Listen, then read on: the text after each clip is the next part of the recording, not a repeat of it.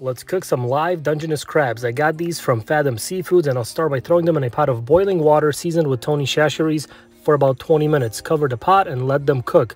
While the crabs are cooking, we'll start on the sauce. Butter, garlic, olive oil, lemon juice, and white wine and let this cook and reduce down for about 10-15 minutes. 20 minutes in, the crabs are ready. Pull them out of the boiling water and put them into an ice bath to stop the cooking process. And now it's time to get them cleaned up.